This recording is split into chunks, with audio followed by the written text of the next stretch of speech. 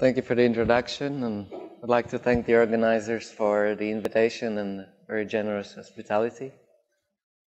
Um, so let me start with, um, need to start with some notation. Work over a number field. Denoted by A, it's ring of Adeles. Um, G will be a fixed connected reductive algebraic group over F. Um, a of G will be the space of automorphic forms. On G of Adeles, these are functions on this automorphic quotient brackets G that are smooth, of moderate growth, right? K invariant, so K is the maximal compact of GA, and uh, finite, Z finite Z is the center of universal enveloping algebra of Lie algebra of, of G standard definition of automorphic forms. And then we take a closed subgroup,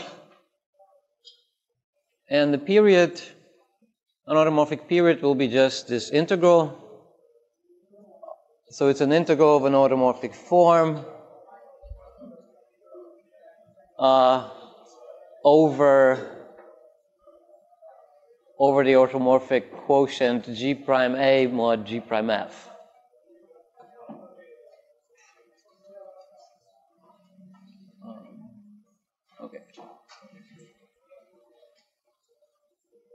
So here's the definition again, um, and some comments. So first of all, it really only makes sense to integrate over. Um, you have to also mod out by intersection of a center of G with G prime. Second comment is that let, let, if I denote by A0 of G the cusp forms, then you should really assume that the quotient g mod g prime is quasi-affine. In that case, the period will be well defined at least on the space of the cusp forms. Um, well, the trivial comment is if this quotient is compact, then the period is well defined on the whole space of automorphic forms.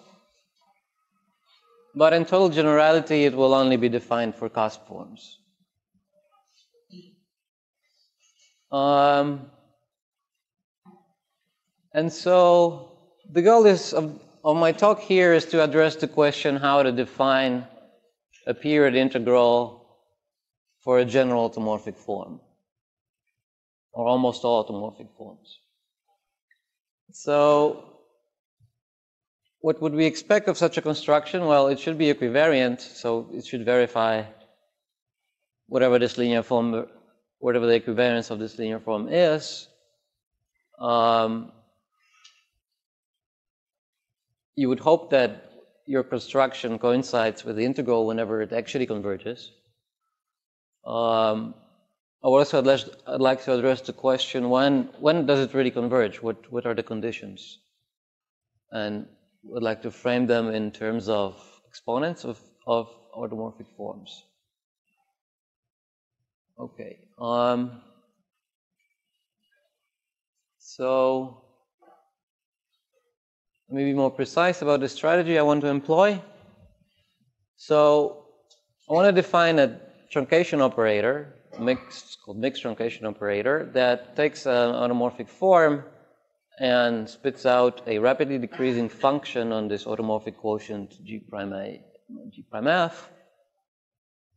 And t here is a certain will be a, for any t, there's a, a parameter of truncation that lives in some fixed Euclidean space. And what would we expect uh, this truncation operator to give us? Well, since it gives uh, rapidly decreasing functions, the integral will now converge. But more importantly, we would expect the behavior in this truncation parameter to be very nice. In particular, when you, as you vary the truncation operate, uh, parameter, this integral should be equal to some very explicit polynomial exponential function, where these polynomials depend on, on the automorphic form, the uh, phi, and well, they almost all zero. And the crucial part will be that we would expect the, the polynomial that corresponds to the exponent zero to be actually constant for almost all uh, automorphic forms except some specified ones. So in this case, we can define a, a, subspace of automorphic forms, which are those for which the, the polynomial part of this exponential polynomial function is constant. And we would like to um, say that our extension of this linear form of the period integral would be this particular constant term. Um, and so this, this should be the desired extension, this should be the equivariant, well-behaved, canonical uh, extension of the integral period.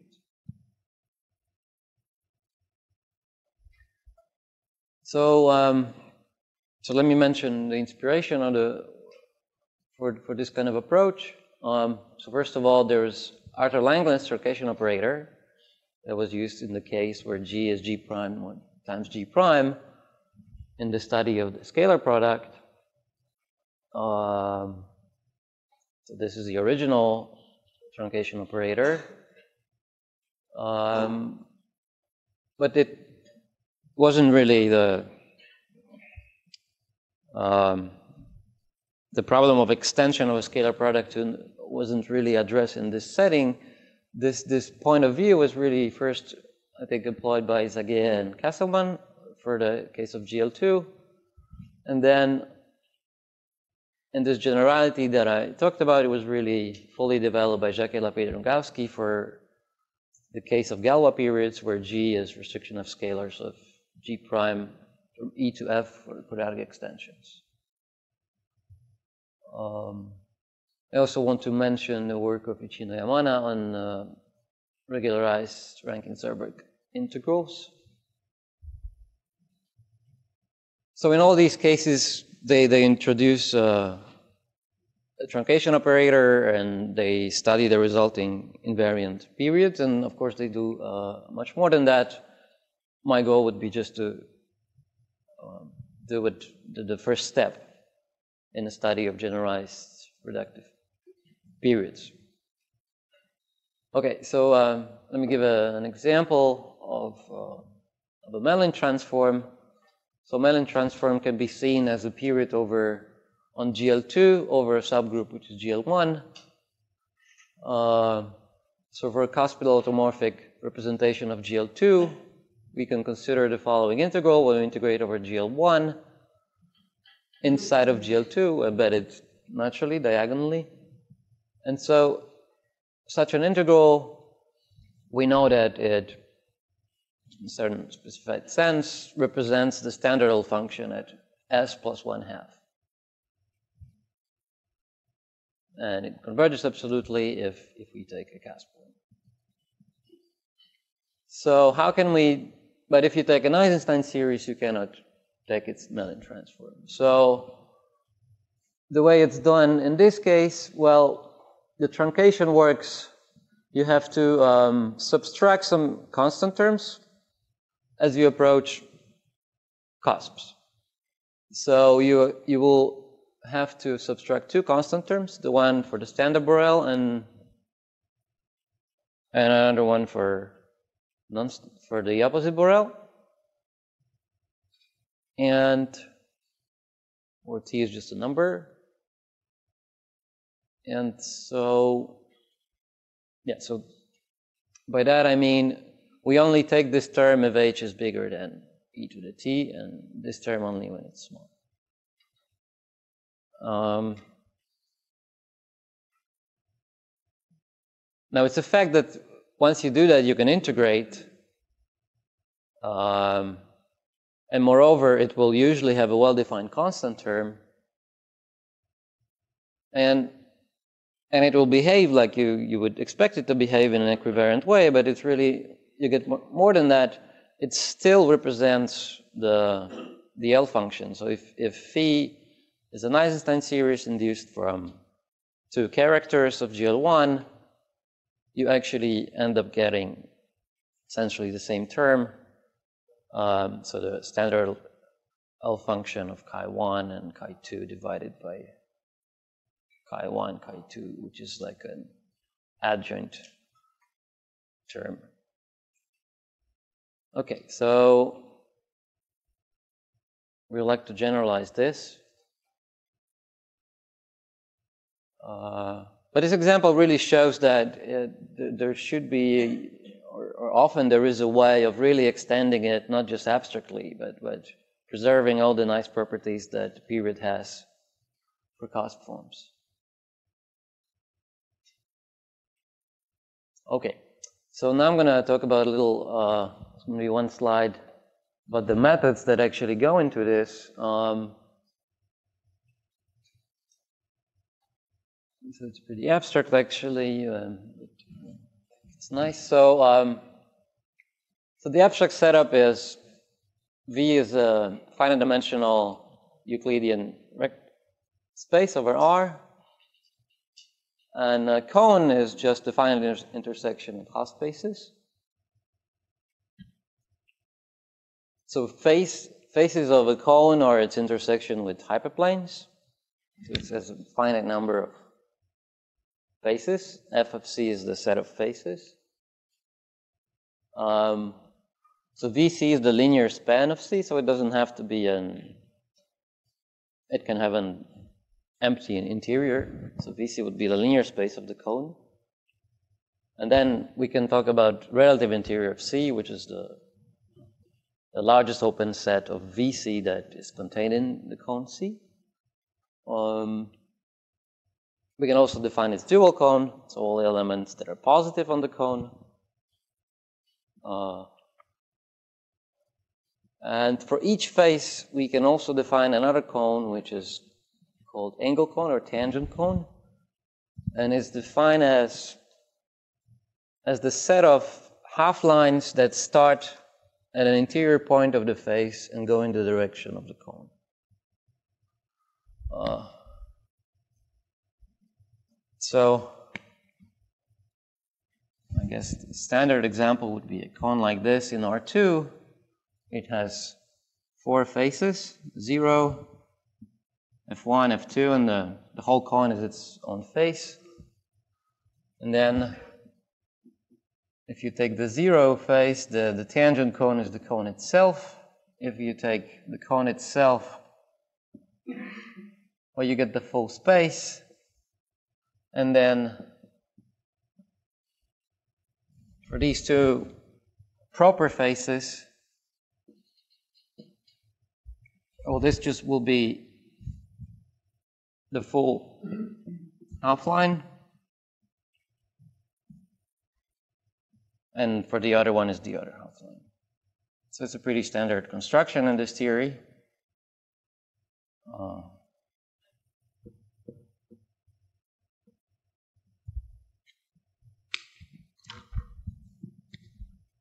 um, okay.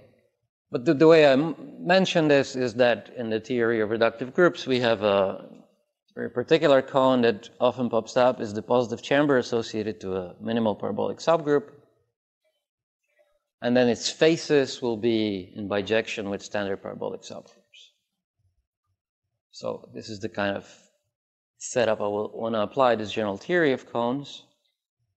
So if I denote bracket A the characteristic function of any subset of the vector space. So it turns out, so for people who are familiar with constructions of Arthur and the work of Langlands, uh, Eisenstein series, uh, there's a famous result that's called Langlands combinatorial lemma in the context of, of chambers for reductive groups. Well, it turns out this, this, this result is actually completely general uh, we get such an identity, such an alternating sum of characteristic functions of interiors of cones or and its duals. So it's a very useful combinatorial tool in, uh, when doing truncation operators.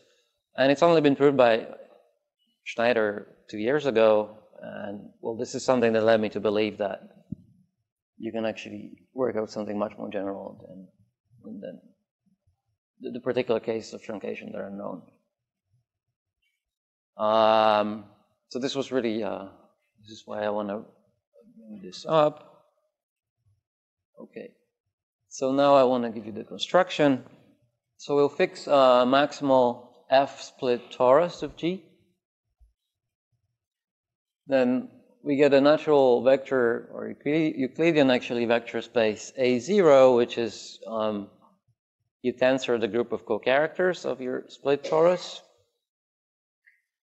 If X also be a minimal parabolic, and mentioned you get the positive chamber, so elements are positive when evaluated at simple root.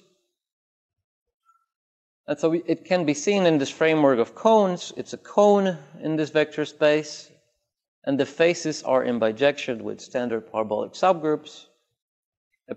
And so this bijection, I will denote it. So P corresponds to a cone AP plus, which is the face of, of this cone AB plus.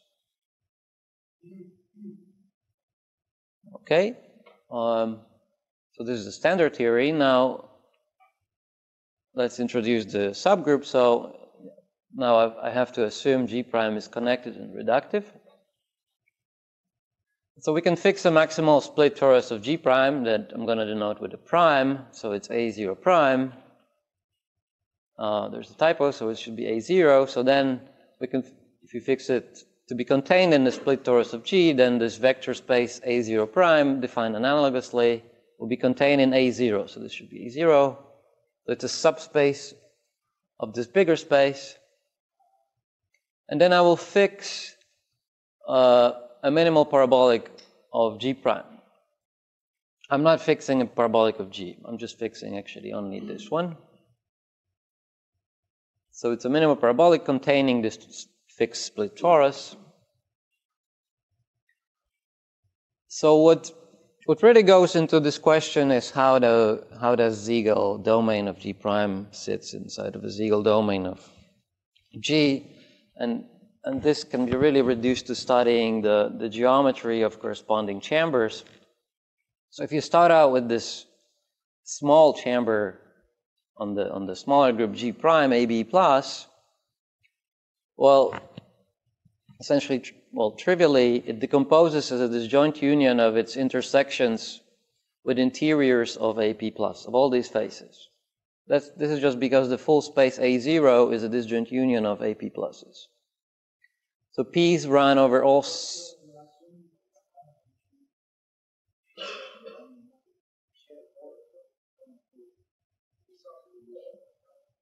One is contained in the other. That you can always assume that.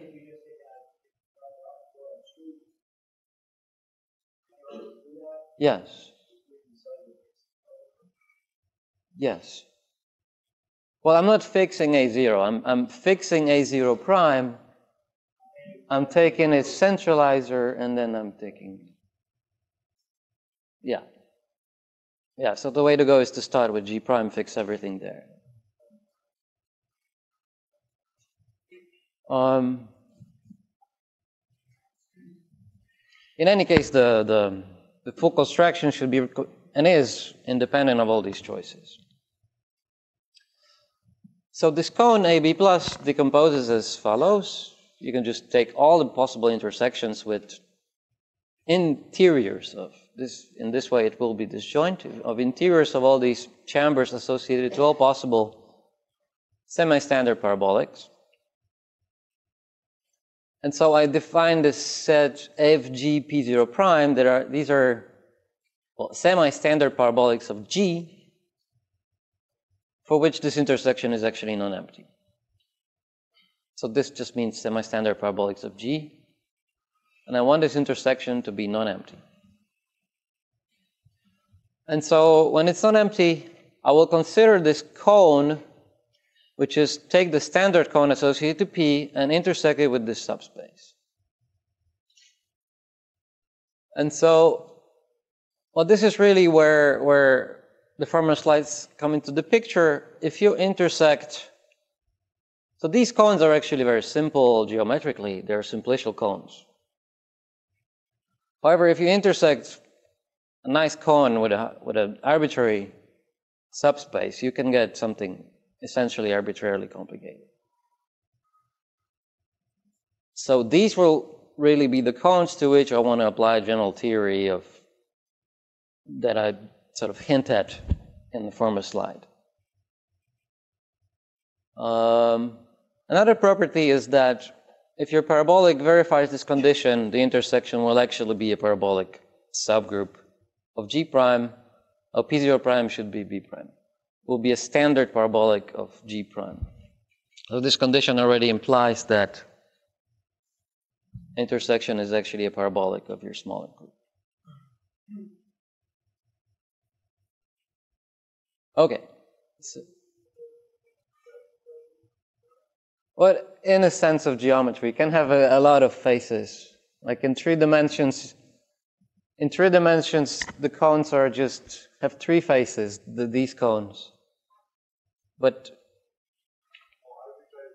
arbitrary shaped is what I mean. Yeah, arbitrary, essentially arbitrary polyhedral cone, essentially. I just mean that the geometry can be complicated. That's what I mean by this. It is actually contained in its dual, but that's basically all you can say.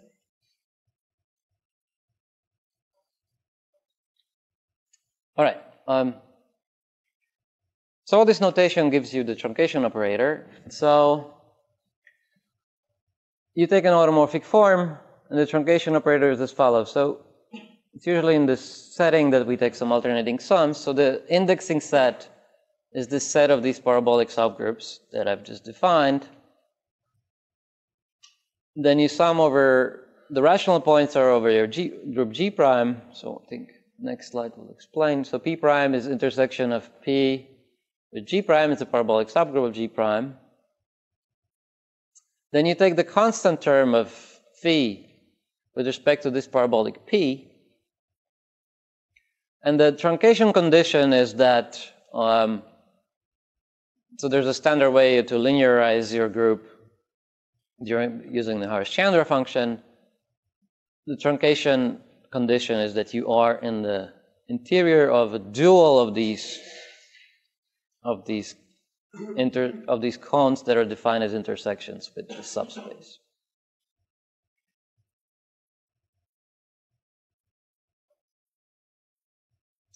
So that's the definition.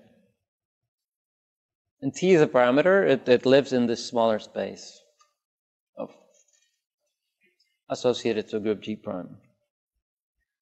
And so um, we get what we want by this using this operator. So it's the function becomes rapidly decreasing on this subgroup for at least for regular positive parameters. And then as you study the integral, the ensuing integral that you know now that converges, it actually is a polynomial exponential, explicit polynomial exponential. And we define the extension that was sometimes denoted as a starred integral as the constant term of this polynomial exponential. So as I said, there's a um, this definition will make sense on some specific, on explicitly defined subspace.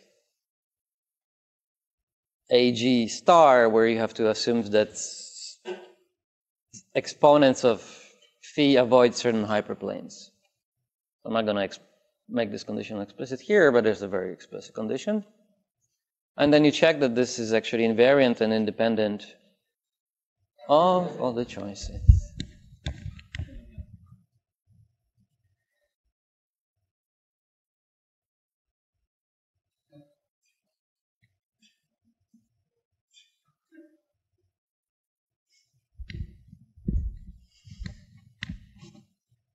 So we get a, canonical is maybe too much of a word, but but definitely invariant of everything we did and um, every cho- of all the choices that we made, and it's uh, it's invariant.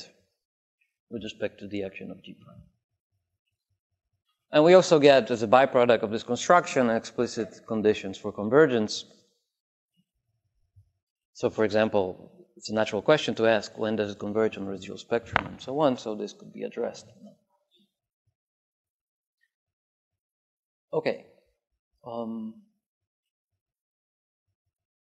let me just mention some variants. Um, so this is what we've defined now. You can add a character, and as it happened in the case of Mellin transform, sometimes there's no essential way to, to change this period, but if there's a possibility to add something like a determinant, so in the case where the center of G prime is not the center of G intersected with G prime, then adding this character will actually allow you to define this as a meromorphic function of psi. So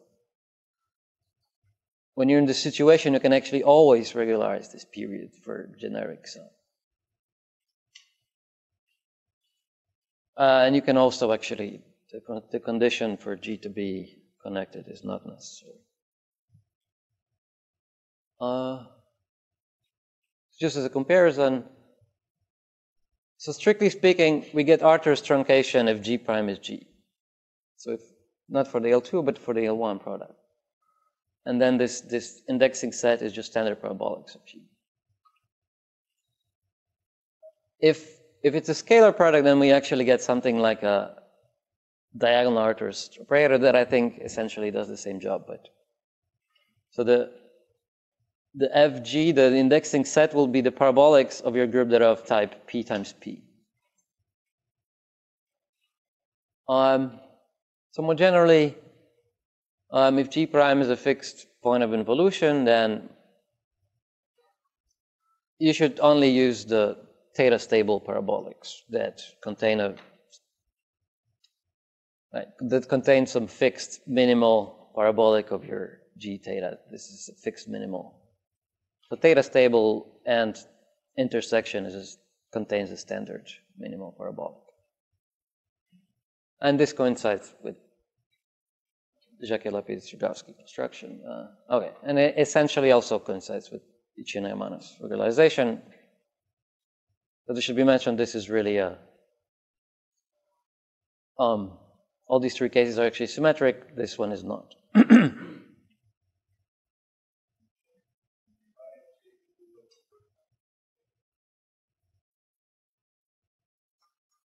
I think so. But you, you should, for now, you to prove it, you would have to you mean the Ichino Yamana's case? I mean, every.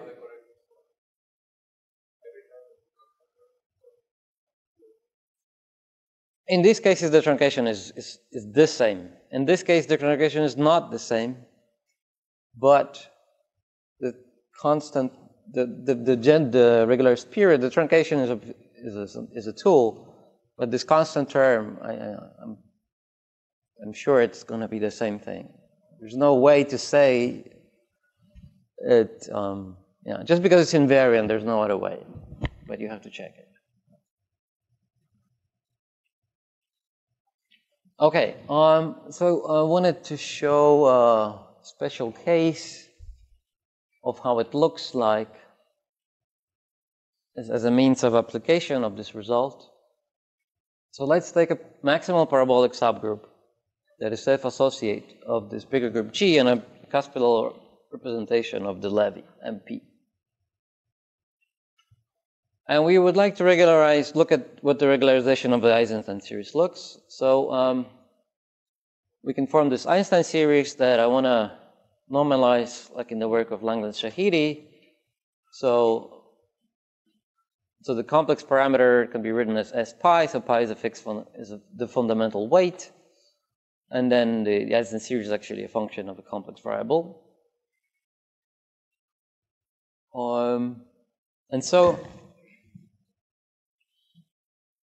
so, um, so I want to show you just uh, how to how to formula looks in this setting. So the, the regularized period is the, the truncated one minus some ex very explicit periods over Levi subgroups of G prime. And these terms, these are some explicit exponentials, but what's sort of interesting is the is these denominators, which are singularities of these periods, and as we'll see later, they're they're they're connected to some interesting questions. So, um, so this W is just um standard subgroup of subset of Weyl group. The sign is either plus or minus. MW is the intertwining operator. And now, so this denominator is what's really interesting here. And so what is this constant? So, well, C is the, if you take the half sum of roots are associated to P, it's just some multiple of the fundamental weight. So it's something that can be computed for any group G. And then here we get 1 minus 2 and q, and NQ is, is the quotient of dimension of, so Q prime here is the intersection of, right, let me say it a bit slower. So first of all, the sum is over parabolic subgroups that are conjugate to P, because these are the only constant terms that make sense for this Eisenstein series. And so these are parabolic subgroups that conjugate to P and appear in this indexing set of the regularization. And for any such uh, parabolic subgroup, this is essentially a constant term of this Eisenstein series with respect to Q. So this is what appears here. Then for such a group Q, uh, Q prime is just the intersection with G prime. So you get periods on smaller groups, which is MQ prime, the Levi subgroup of this parabolic subgroup Q prime of G prime. And it's a very explicit singularity in terms of parameter S. And so this NQ would be the dimension of a unipotent radical of Q prime divided by dimension of unipotent radical of Q. So it's a number.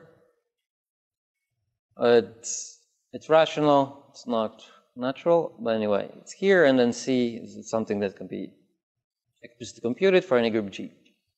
And so you, you see that singularities of this regularized period can be analyzed in this way. So there are, well, all the singularities, of course, of Eisenstein series, but also these numbers, very concrete numbers. Um,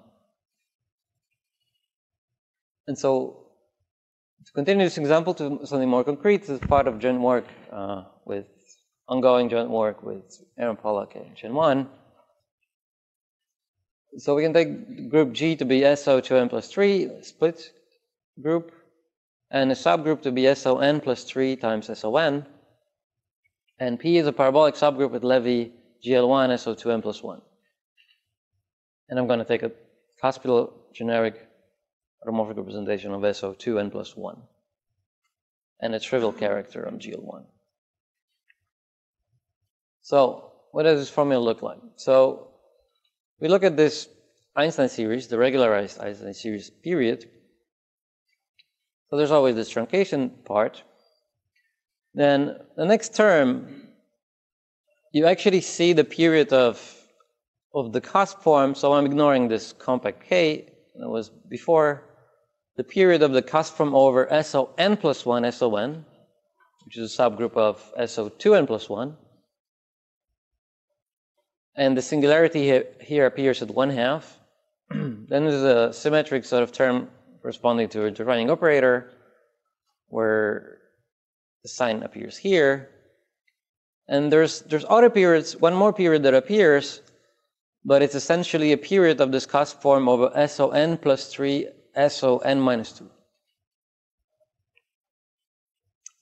And so here's a result of the theorem of Dipendra-Prasad that for a local non-archimedean fields, if you take a quasi-split group and an involution, so if G has a generic uh, distinguished representation, then there exists a theta split Borel. So all these cases, G prime is a is a fixed point of an involution. So G prime is a fixed point of involution on G. SON plus 1 1 times SON is a fixed point of involution on SO2n plus 1, and so is SON plus 3, SON minus 2. However, um, this case is, does not satisfy this condition that there exists a split Borel, and this one doesn't either. So if you start with generic representations, this will be generic. So is this. So there are no, there cannot be any generic distinguished representation, so the periods must vanish. So this one vanishes by theorem Prasad. This also vanishes by the fact that it's equivariant. And so this thing actually simplifies something much simpler.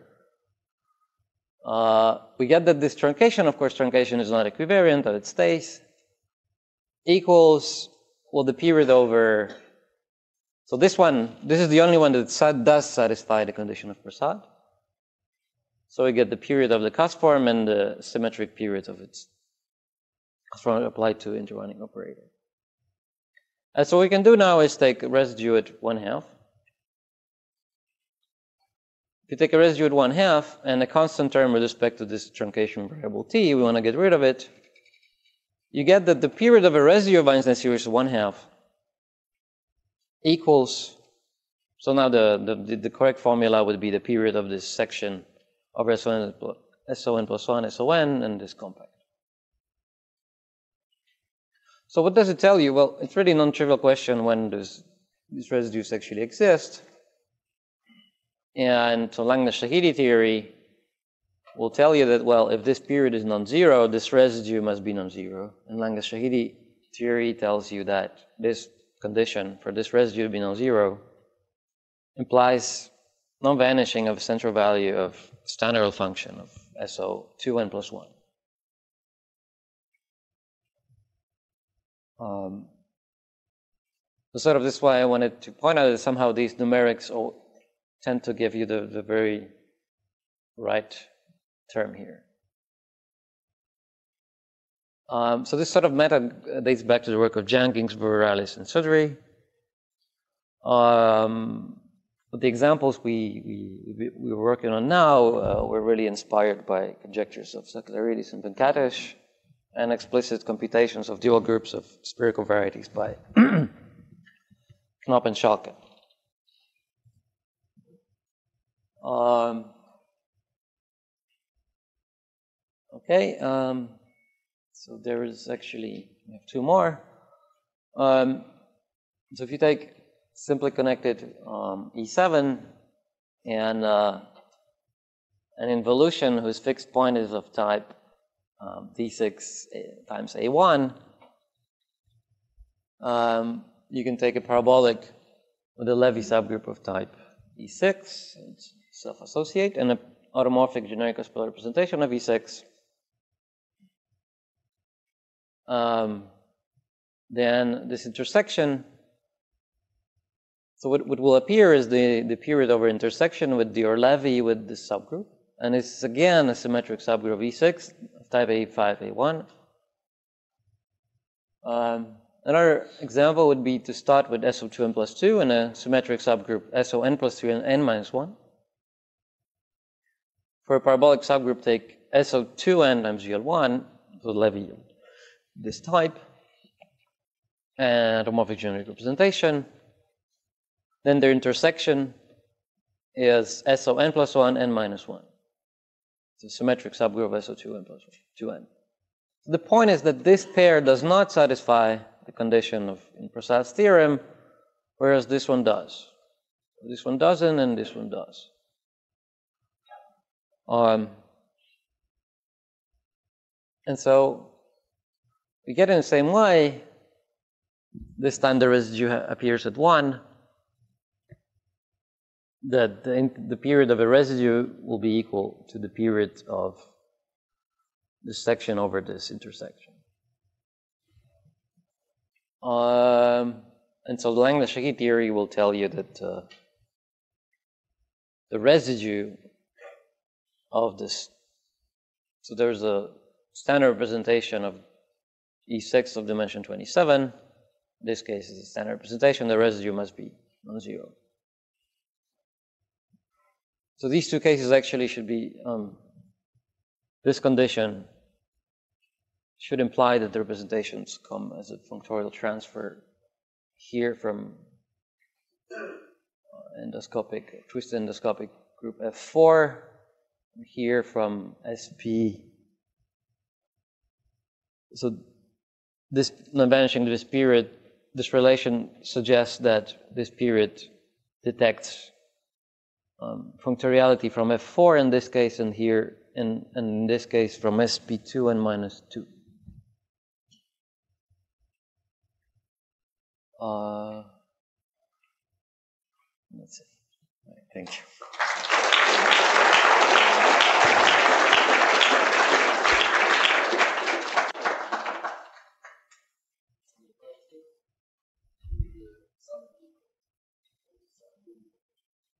Yeah, I, we don't know. I don't know yet. It's problematic.